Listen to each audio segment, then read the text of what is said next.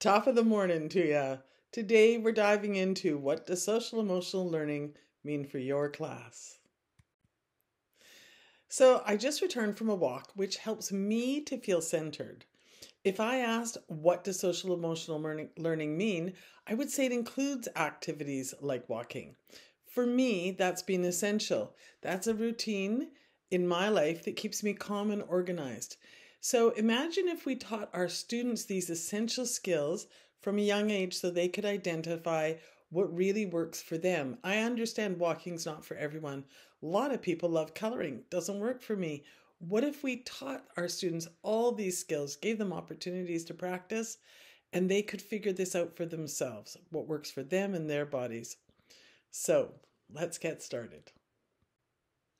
Social emotional learning, otherwise known as SEL, is about teaching the emotional intelligence and life skills our students need to thrive both academically and socially.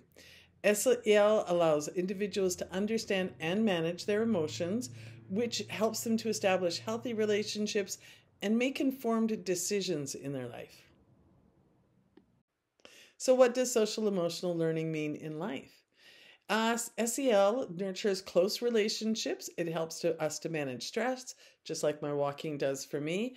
It increases our social competence and improves our overall well being. It impro- provides essential life tools for success. I like to call SEL 60 year learning or teachings. These are lessons that last a lifetime. Teaching students compassion and responsibility, such as caring for the environment through activities like raising butterflies, ensures they care these values for decades, as opposed to teaching them the parts of a butterfly, the life cycle of a butterfly, a butterfly, which can be engaging and motivating and inspiring, but they're not necessarily going to remember the academic details for life.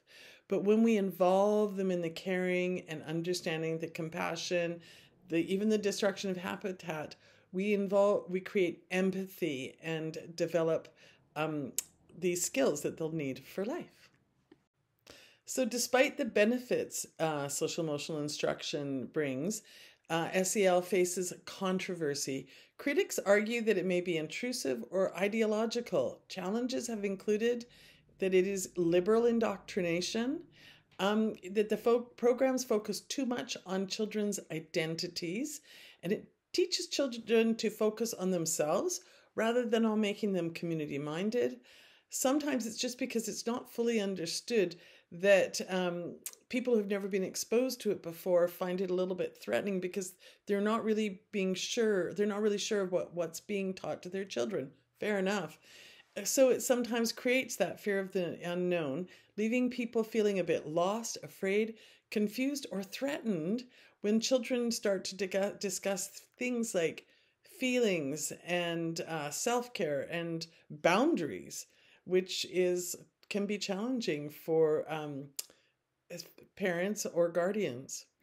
So uh, people can be afraid of people who are comfortable setting personal boundaries and that can be very culturally scary it's crucial to address these concerns with respect and understanding but still focus on the SEL's true intentions, which is to develop life skills.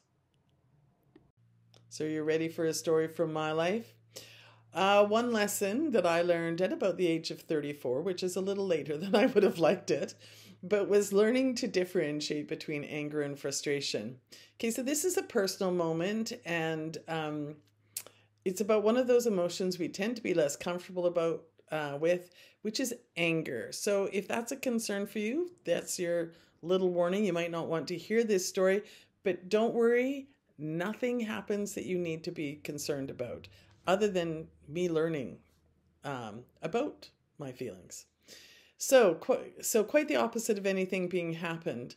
But I do want to recognize the different journeys uh, that people experience. So one day when my children were young, I was in the kitchen and they were playing in another room very close by. At that point in time, we lived in a very small bungalow. I pulled a jar of pickled beets out of the refrigerator and somehow I dropped them and shattered the jar. Red beet juice went everywhere, including all over my newly painted white floorboards. Uh, if you can imagine, I was tired, stressed, and stretched. I did not have the energy to deal with this. However, despite my frustration and feelings of being overwhelmed, I also realized that it was an accident and I was the culprit. I got over it and I cleaned it up. Amazingly, in that moment, because I felt like I was angry and I'd seen a lot of anger in my life, and that's the only feeling I identified. But I learned I wasn't angry. It was, uh, then I kind of understood I was frustrated. And that was the day I realized that there was a difference between anger and frustration. And um, that simple accident taught me to uh, navigate my emotions better because suddenly I realized, oh, what are all these other feelings that I'm feeling and need to identify and learn how to resolve? SEL isn't indoctrination. It's about helping students understand their feelings so they can make better life choices.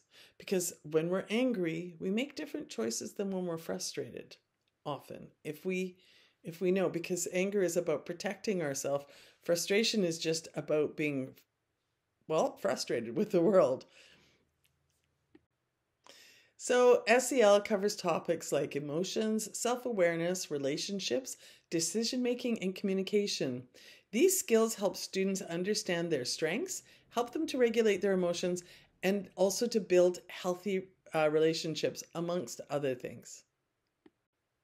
Incorporating SEL in classrooms creates resilient, empathetic individuals ready for life's challenges. It's essential to integrate SEL activities even if formal instruction isn't supported in your school.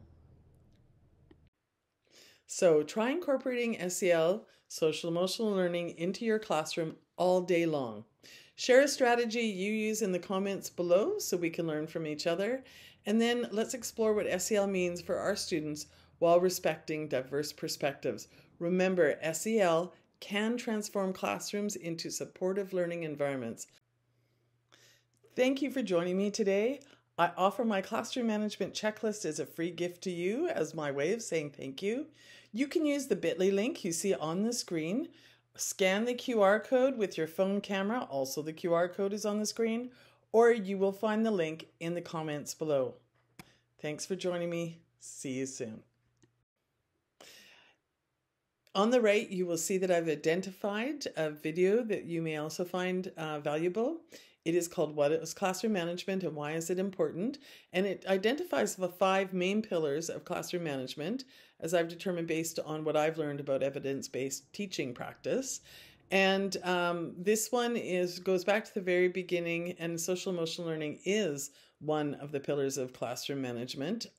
And um, so I thought you might find it valuable to see how it's integrated into it. Please also remember to like and subscribe so that you can see more of my videos. I'd love to see you again soon.